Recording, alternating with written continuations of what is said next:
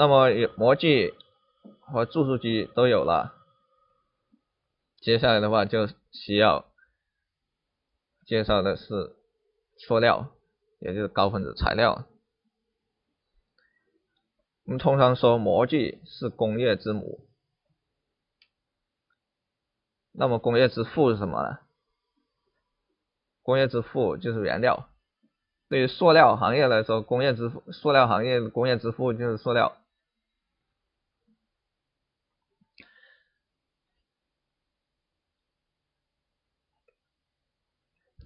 塑料是是高分子材料中的一种。那么高分子材料是由分子量较高的化合物构成的材料，它的分子量一般是在一万到一百万之间。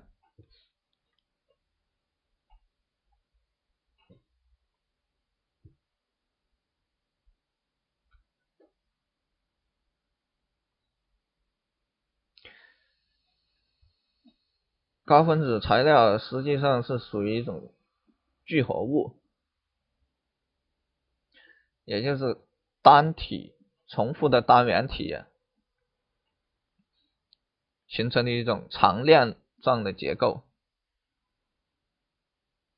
高分子材料它可以分为两类，一是热塑性高分子。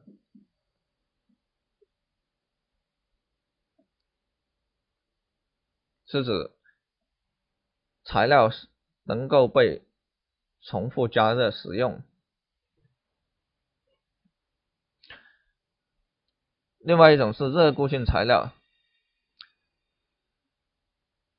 也就是一旦材料生成以后，将不能再次熔融加热。如果再加热的话，材料就会分解。那么从它的形态上来，又可以分为无定型的高分子和结晶型高分子。无定型高分子在整个的注入成型过程中，它始终是保存无定型的结构，同一结构。而结晶型的高分子就有点特殊，它在冷却的时。呃，冷却固化的时候，它是会结晶，形成一种密排那种晶体结构；而加热的时候，它又会形成无定型的结构。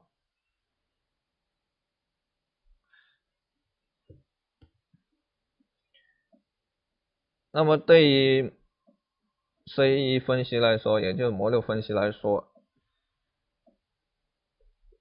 我们需要知道哪一些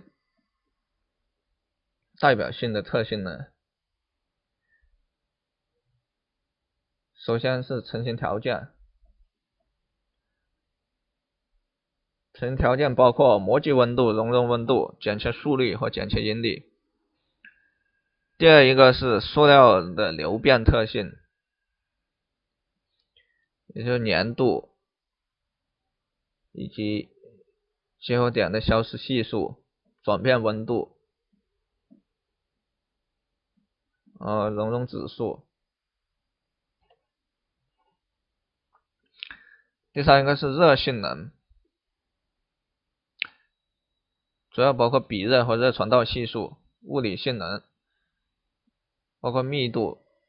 那么物理性能中有个最重要的，就是它的压力、体积、温度曲线，就莫夫。报告里面经常贴出来的那个 PVT 曲线，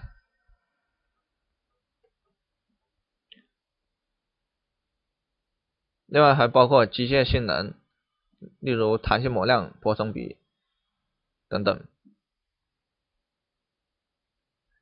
当然还有收缩的性能，包括收缩的模式和收缩率。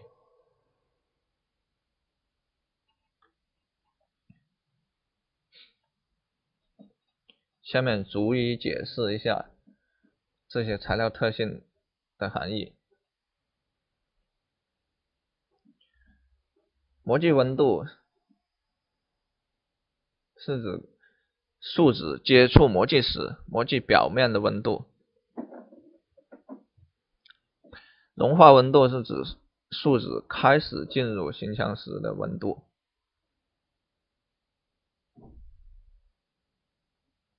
而注射温度的话，这注射温度应该是材料供应商提供的一个那个熔融温度范围，就是能够被注塑的一个温度。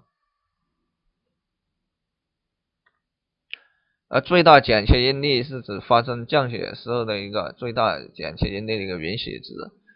同样道理，最大剪切速率也是材料发生降解时的最大的一个剪切速率。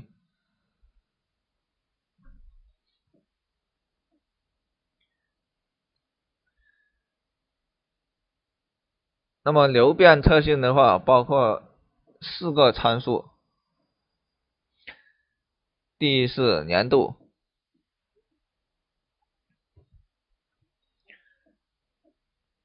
也就是材料停止阻止流动的一个系数。第二是结合结合点的消失法系数 （Junction Loss Method Coefficient）。这个系数它是用来计算熔体经过一个尺寸变化比较大的通道时压力的一个损失，比如说流道进入胶口，特别是流道进入点胶口或者前视胶口的时候，它会一个压力比较大的一个损失。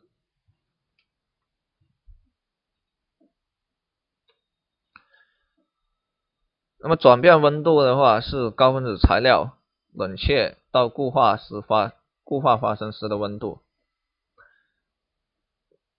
对于无定型的材料来说，就指它的玻璃化温度；结晶型树脂的话，是指它的一个结晶温度。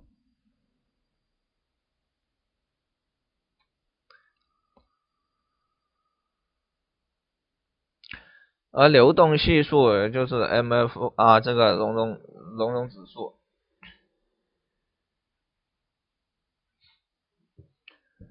是行业里边用来描述熔体流动难易程度的一个通用标准。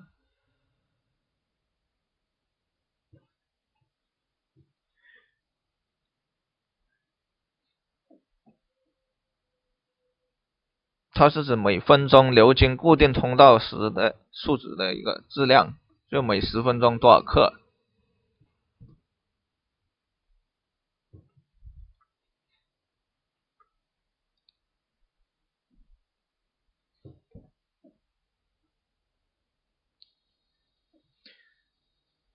那么，影响塑料熔体粘度的一个主要因素是剪切速率和温度。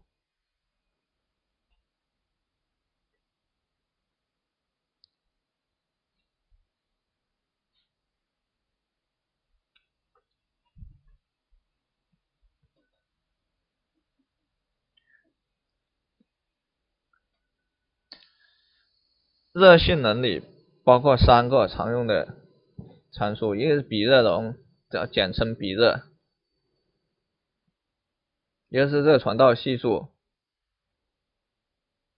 还有一个是热扩散系数。比热是指材料保存热量的能力，它通常用来衡量材料将热量转换为实际温度升高的一个参数。热传导系数是用来衡量材料传热的一个能力，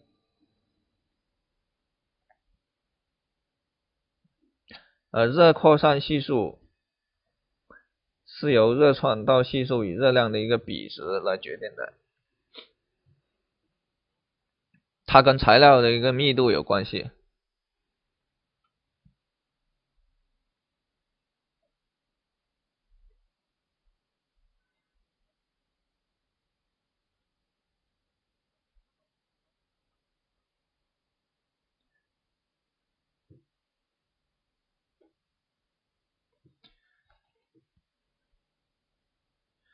物理性质通常包括熔体的密度和固体的密度。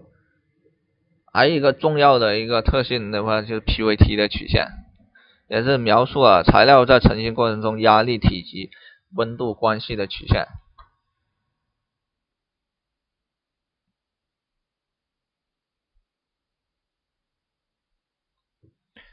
那么从这样一个曲线的话，我们就可以看出，PVT 曲线是指在不同的压力和温度时，材料体积的一个收缩膨收缩膨胀性能。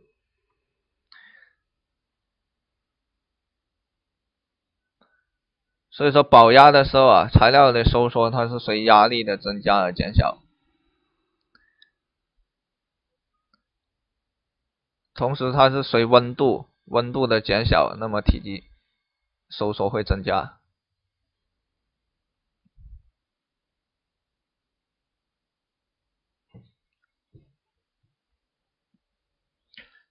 对于机械特性来说，最重要的就是弹性模量、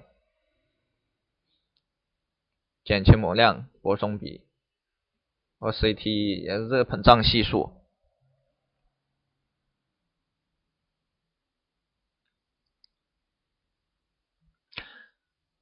而收缩特性，它是指 Morpho 软件在计算收缩的时候，它所用的材料模型，也就收缩模型，它包括修正的和未修正的一个材料模型。